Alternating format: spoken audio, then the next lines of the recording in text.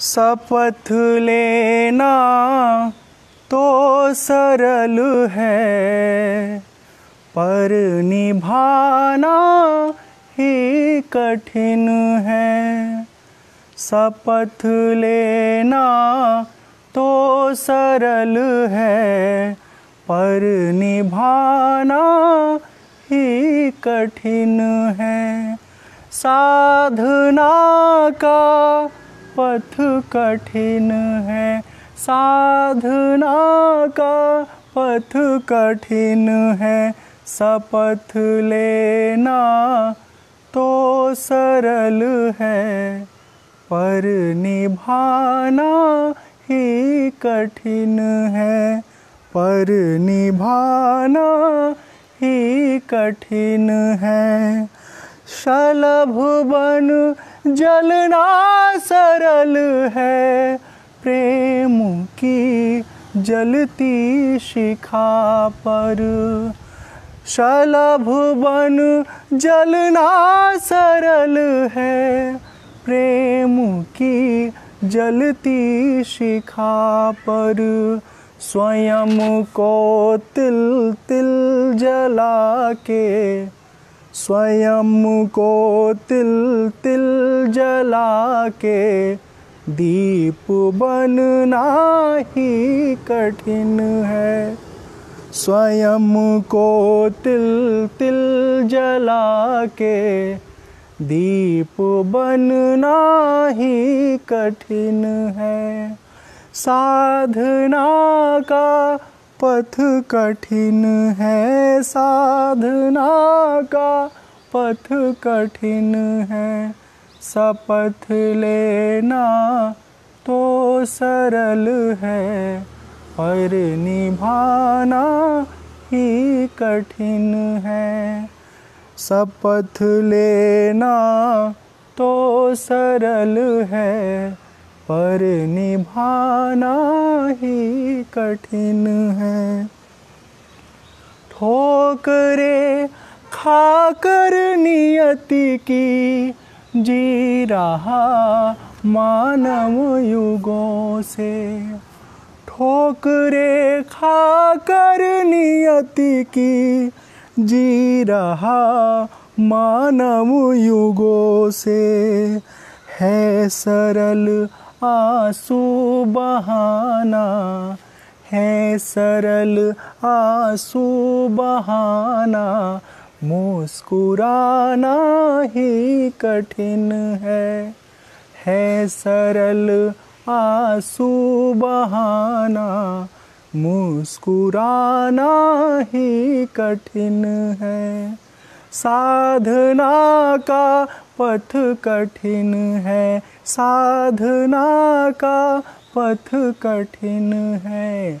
शपथ लेना तो सरल है, पर निभाना ही कठिन है। तप तपस्या के सहारे इंद्र बनना तो सरल है। तप तपस्या के सहारे इंद्र बनना तो सरल है।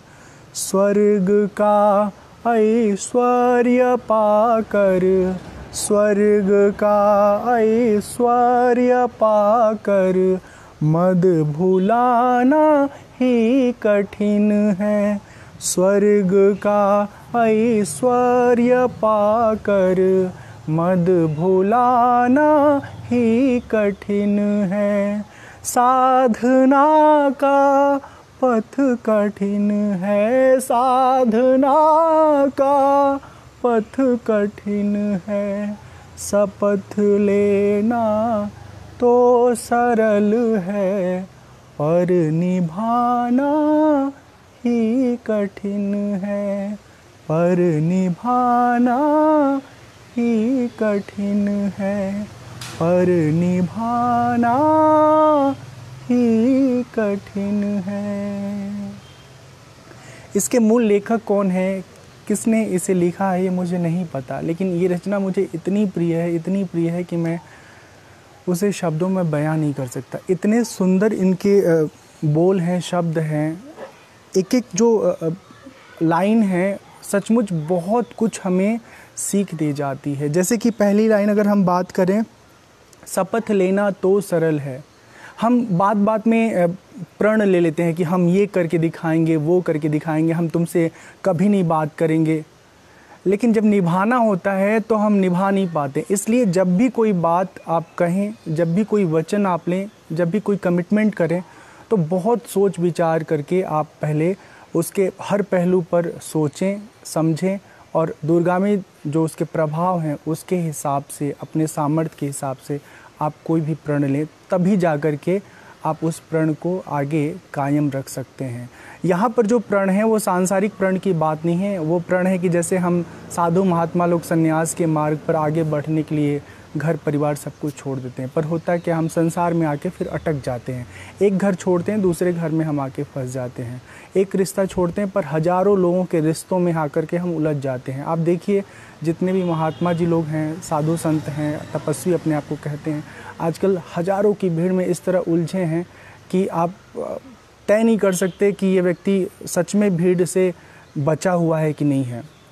और उनके आचार व्यवहार सब कुछ जो है वो कहीं ना कहीं कम्युनिकेट हो जाता है, जो भी आप भीतर होते हैं, वो बाहर रिफ्लेक्ट होता है, उसको कोई भी नहीं छुपा सकता। और आज तो इतना इतना हम समझदार हो चुके हैं श्रोता लोग, साधक लोग, कि सब कुछ सेंस कर लेते हैं कि सामने जो व्यक्ति हमारे है, वो वो कौन है, कैसा है, उसकी अपनी जो आभा मंडल है वो कैसी है।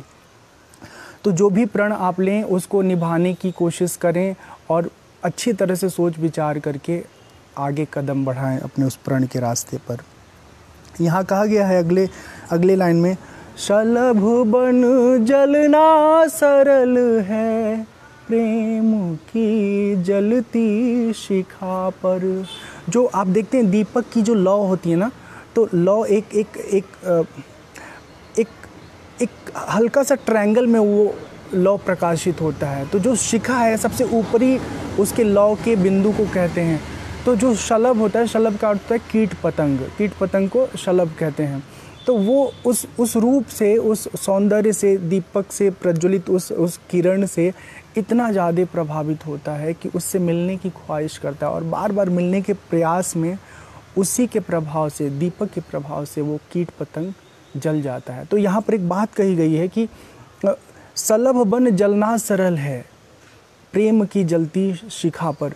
मतलब कोई प्रेम में अपने आप को कुर्बान कर दे। ये बहुत बड़ी बात नहीं है।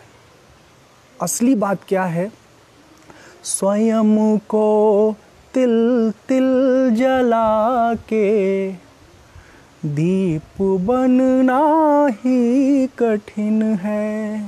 जो दीपक है ना, जिसमें वो प्रकाशित हो रहा है, वो लौ, उस दीपक के निर्माण की जब प्रक्रिया है तो उसके बारे में आप सोचिए।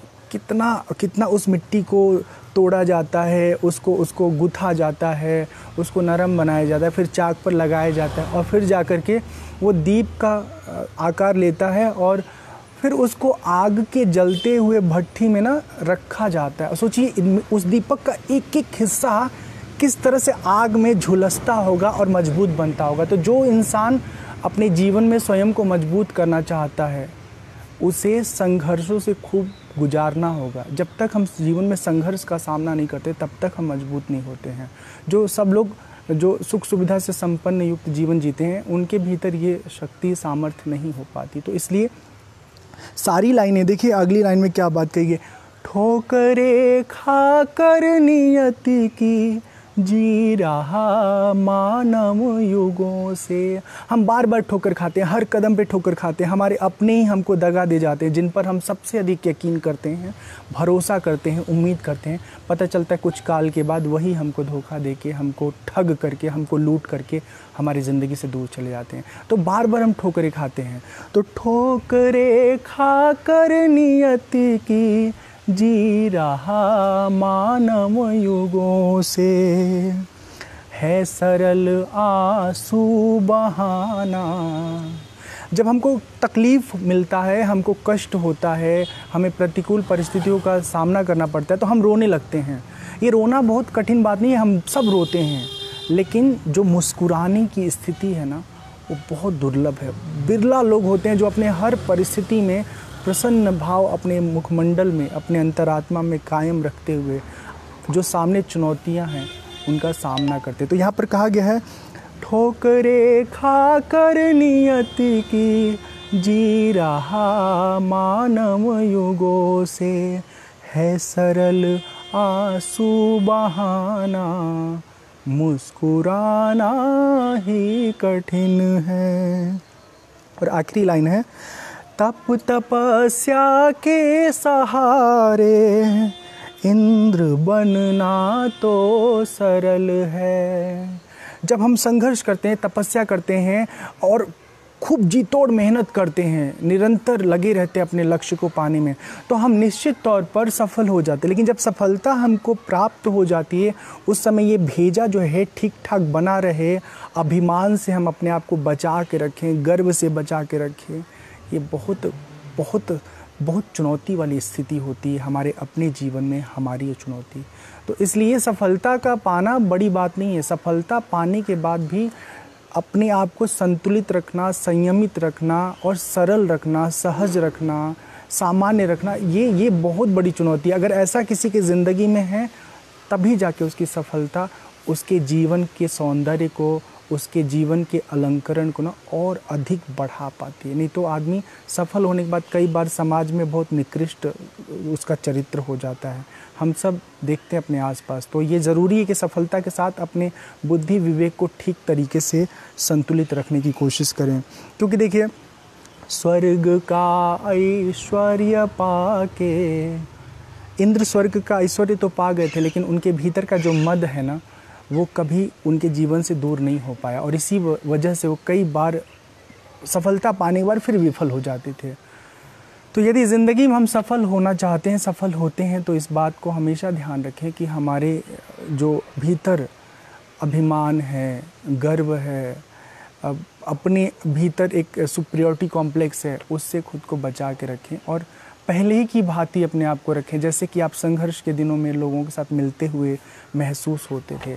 तो ऐसी स्थिति अगर हमारी है तो हम संसार में भी सफल होते हैं और आध्यात्म में भी सफल होते हैं। आध्यात्म में गर्व क्या होता है? बाबा जो कोई है या सन्यासी है तपस्वी है, अपने आप को इतना इतना महान तपस्वी समझने लगते हैं। लगता है जैसे साक्षात परम ब्रह्म परमात्मा वही हो धरती पे चलते फिरते।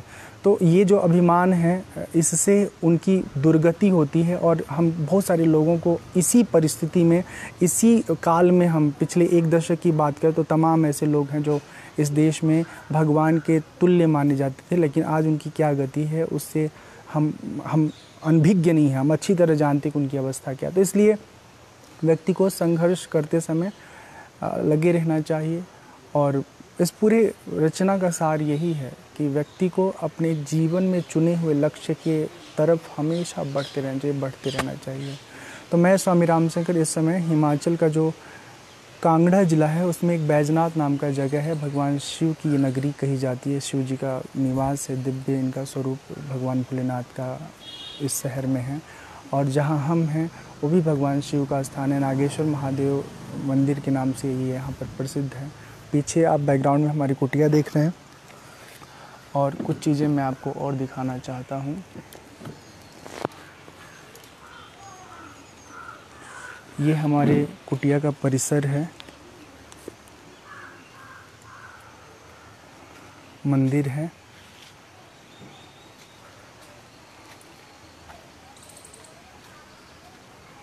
अंदर भगवान भोलेनाथ विराजमान हैं, उनके पास थोड़ी देर के लिए हम चलेंगे, दर्शन करेंगे। और फिर आप सबसे विदा होंगे।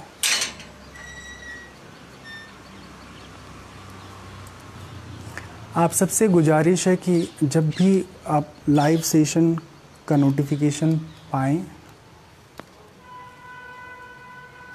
ज्वाइन ज़रूर करें और जो चीज़ें आपको पसंद आती है, वो अपने दोस्तों को शेयर करें ताकि मेरी जो ये कोशिश है आध्यात्म साधना से जुड़े भिन्न भिन्न पहलुओं को सरल से सरल शब्दों में आप सब तक मैं पहुँचाने की कोशिश करूँ तो उन्हें भी लाभ होगा, उन्हें भी लाभ होगा। और हमारे साथ वो जुड़ पाएँगे। इसके साथ ही मैं बताना चाहता हूँ कि यदि आपके भीतर कोई आध्यात्मिक शंका है, किसी तरह का प्रश्न है तो वो हमारे सामने ज़रूर आप रखें। यदि आप रखते हैं तो उसका जो उत्तर है, उस उत्तर पर हम विचार करेंगे और हम दोनों कुछ सीखेंगे। जो प्रश्न होता है वो केवल इसलिए नहीं होता है कि हम जाने सामने वाला कितना समझदार है, बल्कि प्रश्न इसलिए किया जाता है कि जो हमारी समझ है, जो हमारा चिंतन है, जो हमारे भीतर का अज्ञान है, दुविधा है वो समाप्त हो सके। तो इसी मकसद से प्रश्न होना चाहिए, तभी जा कर के हम प्रश्न के सही लाभ से अपने जीवन को प्रभावित कर पाएँगे, उसका फ़ायदा उठा पाएँगे। आप सबने लाइव सेशन में देखा शेयर करें हमारे फेसबुक पेज पर इंस्टाग्राम पर और यूट्यूब चैनल पर भी विज़िट करें। बहुत सारी चीज़ें आपको देखने, सुनने को इसके अतिरिक्त भी मिलेंगी। उम्मीद करते हैं आपको अच्छा लगा होगा और अपना स्नेह, प्रेम हमेशा बनाए रखिए। कभी अगर आप हिमाचल आते हैं तो हमें याद करिए। अभी के लिए इतना ही। बहुत बहुत धन्यवाद।